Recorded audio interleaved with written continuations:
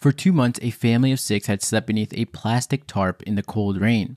22 year old Maria Lubia Kerakama Tanigama held her newborn and two toddlers tight, using her body to keep them warm as nighttime temperatures dropped into the 40s. Her husband and their six year old lay next to her on a thin mat, the only thing between them and the Bogota dirt. Since last September, an indigenous community, refugees forced off their land by armed groups from Colombia's ongoing rural violence, has been living in Bogota's central Olaya Herrera National Park, many cycling in and out of government subsidized housing, a few months in an apartment, a few months on the streets, back to an apartment and then back to the streets. Desperate to break this cycle, indigenous leaders tried once more to demand a solution from the government. In late September, hundreds of evicted families marched through Bogota for 14 hours before camping out in National Park in the heart of the capital. They set up hundreds of plastic tarps between the park's monuments, fountains, and trees. Perhaps here, in one of the city's most prominent parks, they thought their cries for help would be impossible to ignore. However, the Colombian authorities had been struggling to dissolve the camp, which has housed up to 1,500. As of recently, many have left. But a determined group remains, including children, dozens elderly, and several pregnant women. What is going on, everyone? This is the Leo podcast where we talk about various educational topics, especially those impacting the Latin American community. In today's episode, we're going to be talking about an indigenous community forced off their land by armed groups from Colombia's ongoing rural violence that has been living in Bogota's Central National Park. For months, the situation in the park gained limited attention. Then, on November 28th, the death of a 21 month old Embera child in the park stimulated coverage by national press, increasing pressure on the authorities to address the issue. I'm your host, Kevin Munoz. This is today's free episode. If you want early access to episodes and bonus episodes, you can find that right now on our patreon.com slash latinamericaneo. And if not, then enjoy this one. The displacement of indigenous people from their lands has been a reality in Colombia for decades. Since the Spanish colonization of the Americas in the 16th century, the indigenous people who survived imported diseases and massacres have been repeatedly deprived of their ancestral lands. First colonial and later Colombian settlers pushed them away from agriculturally fruitful areas towards marginal mountain ranges or the Amazon. Those who stayed had to enter a feudal like servant system, including the payment of terrajes, working without pay for landowners in exchange for being allowed to live on and cultivate small plots of land. Colombia's armed internal conflict since the 1960s further intensified violence against indigenous people, particularly the emergence of right wing paramilitary groups. Since the 1980s, paramilitaries have conducted brutal massacres and disappearances among Colombia's rural and indigenous population. These attacks were often carried out with the blessing of large landowners, local and national politicians, and state authorities to strengthen the landowners' grasp on lands and to cut down social protests. Fast forward to late September, indigenous communities are still being forced off their land by armed groups from Colombia's ongoing rural violence. Hundreds of evicted families marched through Bogota for 14 hours before camping out in the national park in the heart of the capital. They set up hundreds of plastic tarps between the park's monuments, fountains, and trees. You might be asking yourself, why this national park? Well, this is because this national park, located in the heart of the capital, is one of the city's most prominent parks. Therefore, they can't be easily ignored. However, as you can imagine, living in a park comes at a steep cost as far as living conditions go. Hundreds of families are still living in the park.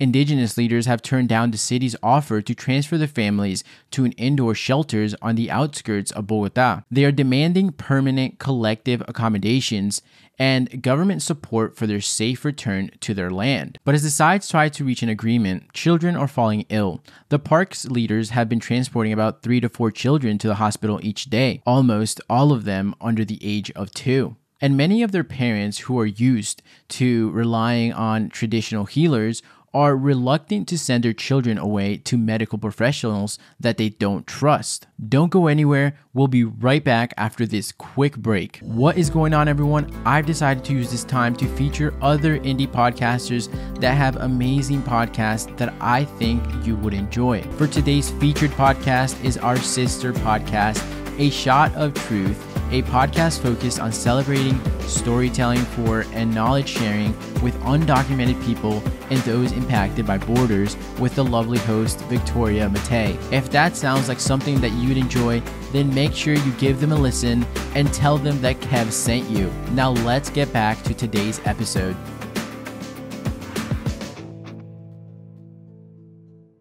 The most tragic example of these horrendous living conditions is the case of Yonkin. After two months of living in the open air in this high altitude city amid smoke from cooking fires, Gerakama's 21 month old son, Yonkin, fell ill. First came diarrhea, vomiting, then he became drowsy and struggled to breathe. An ambulance rushed him to a hospital just blocks away. By the time Yonkin arrived, it was too late. He had already suffered a cardiorespiratory arrest. Before his death, doctors said he had the stomach flu, severe malnutrition, and severe dehydration.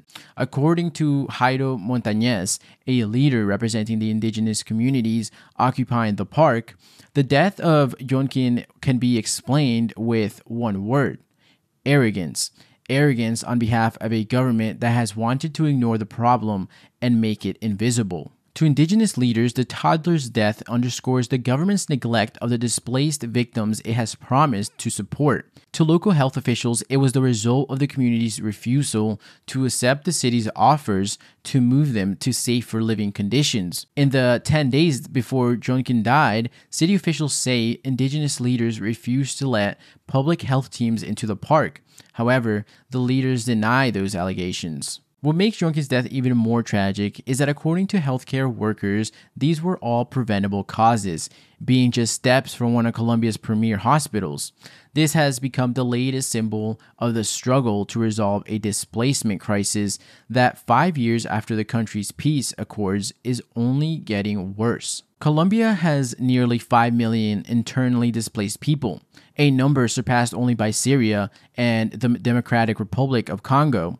That includes at least 82,846 who were displaced forcibly between January and November 2021, a 169% increase from 2020 the largest number in five years since the government signed a historic peace deal with the Revolutionary Armed Forces of Colombia. According to the Bogota based Consultancy of Human Rights and Displacement, also known as CODHES, Nearly 23% of those victims were indigenous, and at least 9,857 were forced from Choco, home to many of the Embera families in the park campsite. Indigenous groups such as the Embera have long distrusted Colombia's institutions, a result of the country's failure to follow through on promises to provide these communities with health services, food security, or safe territories. Families displaced by Colombia's decades long conflict have a right to reparations and restitution through a comprehensive victims law, which provides state support toward education,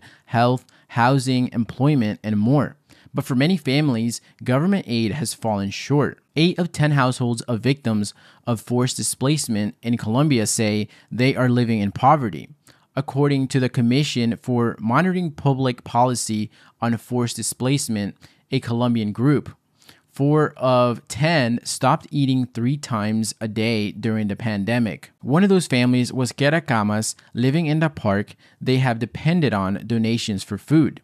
And in the days leading up to Yonkin's death, the parents and children would often eat only one meal, usually some rice, potatoes, and plantains. That's all for today on the Leo podcast. I'm Kevin Munoz, and as always, feel free to send me a message with your thoughts or with any interesting topic that you'd like to see covered.